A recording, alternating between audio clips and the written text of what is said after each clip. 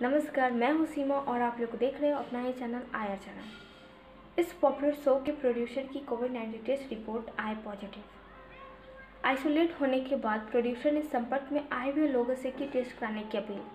आखिर क्या है पूरी कहानी? आइए जानते हैं। आप लोग का फेवरेट शो तारक मेहता उल्टा चश्मा, के प्रोड्यूसर कोरोना पॉजिटिव पाए गए।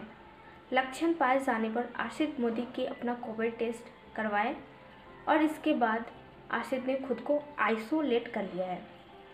तारक मेहता का उल्टा चश्मा।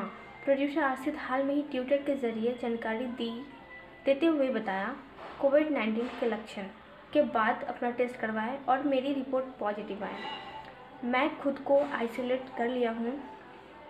मैं विनती करता हूँ कि जो भी मेरे संपर्क में आए हो, वो सावधान रहे और कोविड नाइन्टीन से जुड़े सभी प्रोटोकॉल्स को फॉलो करें। आप मेरी चिंता ना करें। आप लोगों के प्यार से, प्रार्थना से और आशीर्वाद से मैं जल्दी ठीक हो जाऊँगा।